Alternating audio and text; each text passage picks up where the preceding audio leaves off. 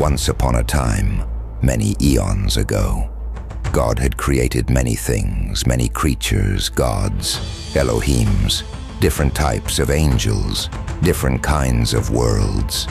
God had created realms, dimensions, universes, the multiverse as a whole. Then one day God paused, looked over all he had created, and saw that none was like him, and none could fellowship with him.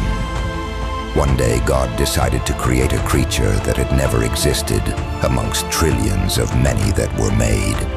A creature of his own DNA, of his very nature and essence, that would fellowship with him. An immortal creature that would never die as God is forever. That creature was man. Yahweh is one, he manifested himself into three in order to have a three major civilization.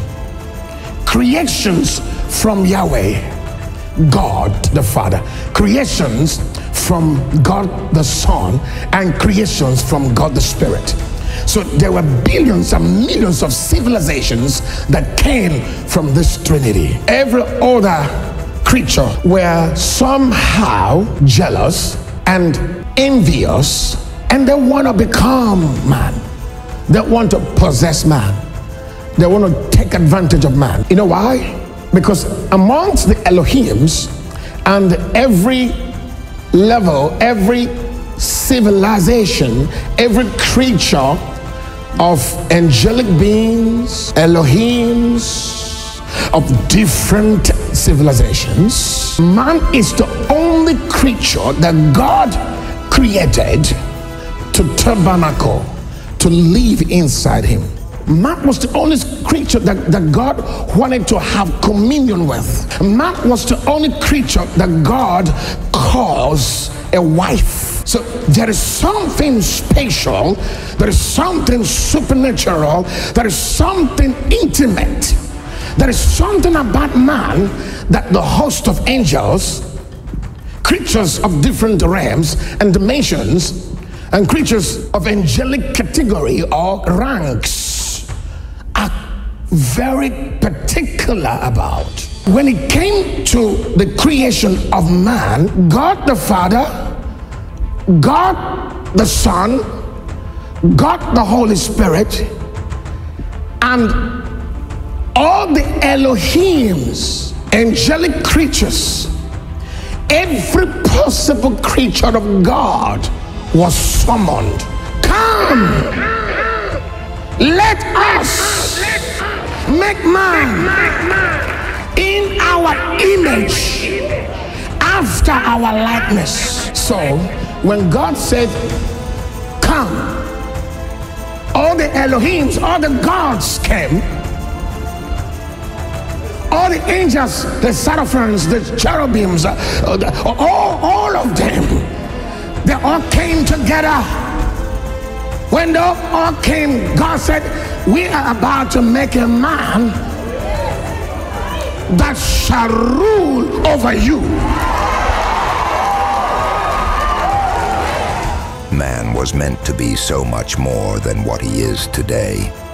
Man was a god a son of the Emperor of the universe, the Father of glory, the God of our Lord Jesus Christ, Yahweh, Adonai, the first and the last, the beginning from the end and the end from the beginning, the I am that I am.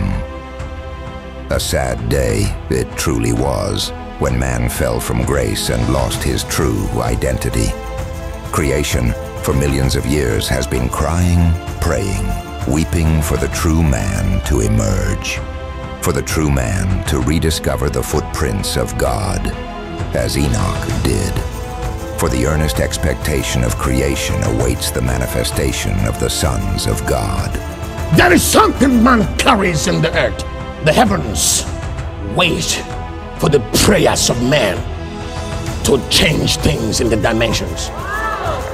The heavens wait on the authority of man to deplete, to raise, to uproot, to set up a new season.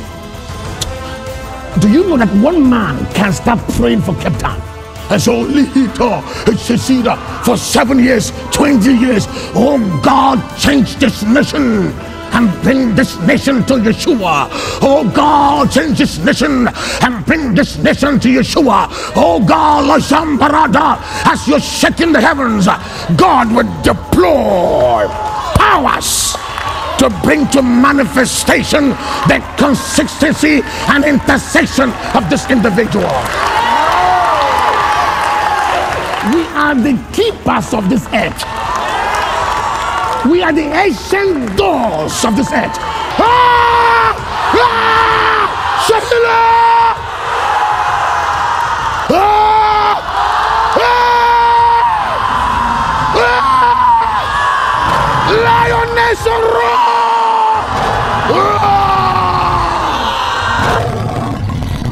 I'm Catherine Low. I'm from Singapore. I've known, I've come to know Pastor John Anosike through a friend because I was really very dry up and my church is not going anywhere after serving for so many years, 10 over years. I said there's got to be something more. I've been praying to the Lord for something more. And so I actually know this friend of mine that do flagging and she was uh, on in tune with this 45 minutes IT. So she recommended me, why don't you try this Pastor John Anosike 45 M- MIT? I said, okay. So when I first tried, I felt I, I, I, I, felt that his presence and even Pastor Ola Anosike, I can feel their presence. And there's some transformation taking in my life. There, there's some kind of breakthrough. And when I begin to roar and roar and roar, the more I roar, I, I begin to see, oh, there's something that is more to it than just a, a normal kind of Sunday service that I'll be attending. This is very different. So I, I was so engrossed in it. Just amazing. I, I don't know how to describe. It's really indescribable. And I say, this is real. So I came to hear about the bondservant of Christ through my mom, who again uh, heard about him over on YouTube. Um, and when I heard his uh, teachings, uh, I realized that there are not a lot of um, ministers out there who preach what uh, Papa preaches. Uh, there are not a lot of ministers who talk about uh, the spiritual world uh, and spiritual warfare. Um, and that is what really uh, intrigued me and uh, wanted, made me want to follow Pastor John. Ministry of Pastor John is one of a kind, is really unique. There is nothing like it out there. Um, and uh, your spirit really tells you that this is the place to be. Um, it has changed my spiritual life. Um, um, it's really difficult to explain how, uh, but it's like when you've been walking around for a long time um, and you finally find the one thing that you were missing. Uh, that is how it feels like. It's uh, like you have been well, yeah, waiting for something, or there was some void that you tried to fill that you couldn't really get from other ministries, and that is what I'm feeling that I get from this ministry.